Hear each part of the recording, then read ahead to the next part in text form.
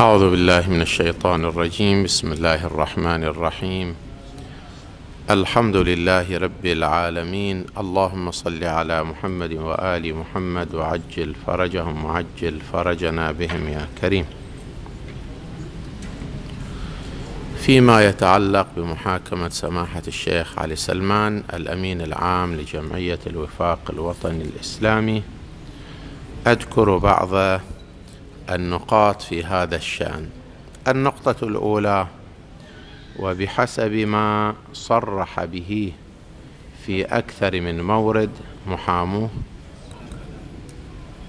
صوت واضح. هذا المشكلة عندهم يعني الصوت عالي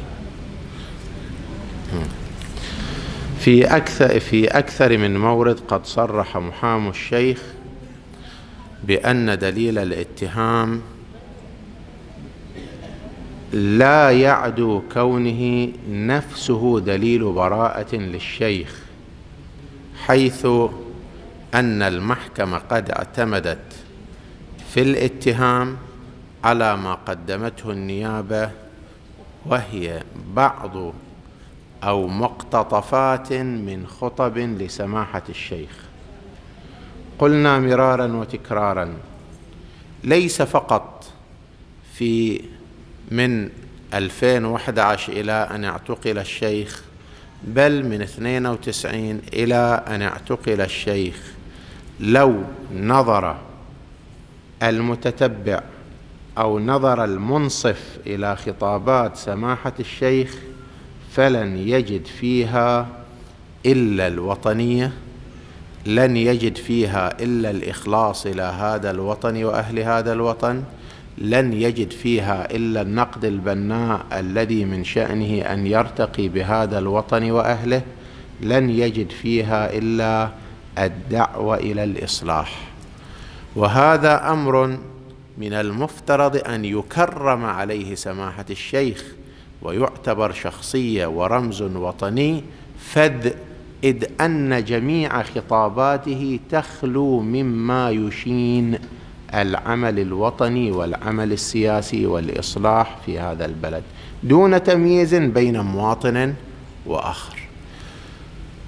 وليس فقط هذه الخطابات التي استشهدوا بها وللأسف الشديد كما يذكر أيضا المحامون بأن المحكمة لم تقبل أن تعرض الخطابات التي استشهد بها المدعي العام بكاملها يعني لم يسمح أن تعرض كما هي حتى ماذا يتبين أن هناك انتقائيه واجتزاء لخطاب سماحة الشيخ على نحو آه، أن على نحو إبقاء المدين و اللهو القرائن الواضحة المتصلة التي تبين مقصد الشيخ. هذه نقطة. النقطة الأولى دليل براءة واضحة للشيخ أن جميع المنظمات الحقوقية والجهات الدولية التي نظرت إلى هذه القضية وشاهدت هذا الملف من أخرج فيها تصريح كان تصريحه طلب الإفراج عن سماحة الشيخ والحكم ببراءته. هذه المنظمات الحقوقية لا تربطها بسماحة الشيخ علاقة شخصية تجعلها تنحاز له. ولا يملك سماحة الشيخ المال الذي يشتري به ذمم العاملين أو ذمم العاملين في هذه المنظمات. اذا لماذا تطالب هذه المنظمات مرارا وتكرارا؟ وآخرها منظمة العفو ببيان صريح وواضح بطلب الإفراج عن سماحة الشيخ. لماذا تطالب هذه المنظمات؟ إذا كانت هناك أدلة إدانة وإذا كان هذا الشخص يمثل خطرا على السلم الأهلي ويهدد أمن وطن فلماذا المنظمات المعنية بالدفاع عن حقوق الإنسان والمعنية بالدفاع عن حقوق الشعوب؟ تطلب الإفراج عن شخصية يكون في حقه أو ممكن أن يصدر في حقه أو صدر منه. ما يهدد السلم الأهلي أو ما يثير الطائفية أو ما يشابه ذلك من الاتهامات الباطلة. بل أقول أن الذي دفع هذه المنظمات لأن تخرج هذه التصريحات وهذه البيانات وهذه المطالبات أنه واضح لديها براءة الشيخ مما وجه له من تهم. هذه نقطة. وواضح لها شدة مظلومية الشيخ. شوف الإنسان إذا هو صادق في المطالبة الجادة بالإنصاف بالعدالة دون أن آه، يظلم أحد أو يبغي على حق أحد. ويطالب الآخرين بأن يتبعوا الإنصاف ويتهم في أنه غير منصف. هذه مظلومية كبيرة. هذه مظلومية كبيرة. هذه المنظمات ترى شدة المظلومية التي فيها الشيخ فلهذا تصدر هذه البيانات. لأنها لم ترى منه إلا المحافظة على الأسلوب السلمي وحث الجماهير على المحافظة على الأسلوب السلمي في مطالبتها وفي الوصول إلى أهدافها. ويندر أن تجد في مثل هذه المنظومات وفي مثل هذه الأوضاع شخصية تؤكد على السلم واتباع الأساليب السلمية رغم الضغوط ورغم ما يواجهه الناس من قمع شديد من قبل السلطة. مع ذلك هو ماذا؟ يؤكد هو نفسه يمارس السلمية ويؤكد على الجماهير أن تتمسك بالسلمية مهما آه، كان الأمر فادحا. فبالتالي ماذا؟ فبالتالي يعني لم يطلب أو لم تطلب هذه المنظمات هذا الأمر إلا لهذه الأمور. الأمر الآخر أيضا رأت منه الحرص على على احترام حقوق الإنسان واحترام حقوق الآخرين. يعني فاضح جدا أن يتهم الشيخ بأنه يزدري فئة من الشعب في حال أنه ماذا؟ في حال أنه دائما في خطاباته آه، يصر ويؤكد على المساواة والإنصاف. نقطة أخرى أذكرها هذه المحاكمة هل هي لشخص سماحة الشيخ علي سلمان؟ قل بأن هذه المحاكمة ليست لشخص سماحة الشيخ بل هي محاكمة للكلمة الصادقة يعني كل إنسان سيتكلم أو يتكلم بكلمة صادقة فهذه محاكمة له. هذه محاكمة للرأي المخلص. هذه محاكمة للعمل السلمي. هذه محاكمة للنقد البناء. هذه محاكمة للعمل السياسي الهادف.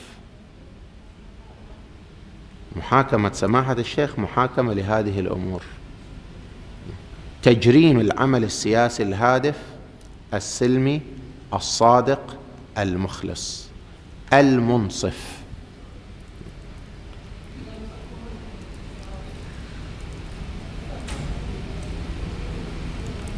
الإدانة واستمرار المحاكمة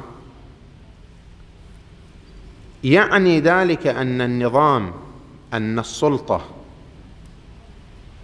تقول لكل الجماهير التي تطالب بالإفراج عن سماحة الشيخ والنخب التي طالبت وتطالب بالإفراج عن سماحة الشيخ وعلى رأسهم العلماء والجهات الداخلية والخارجية التي تطالب بالإفراج عن سماحة الشيخ وكأنما السلطة تقول لهم جميعا أني لا أكترث بكم وأن رأيكم عندي لا شيء ولا أحترم رأيكم. أكثر من نصف الشعب يطالب بالإفراج عن سماحة الشيخ. يعني السلطة تقول لنصف الشعب أو لأكثر من نصف الشعب كلمتك غير مقدرة. كلمتك غير محترمة. هذا إذا الإدانة تصدر إدانة لسماحة الشيخ يعني هذا هذا الأمر.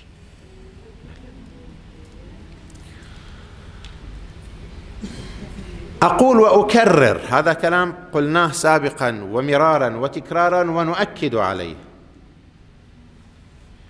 الحركات الشعبية التي هي مثل الحركة والانتفاضة أو الثورة التي حدثت في البحرين وما زال هذا الحراك المطلبي مستمر لا ينتهي بتغييب شخص.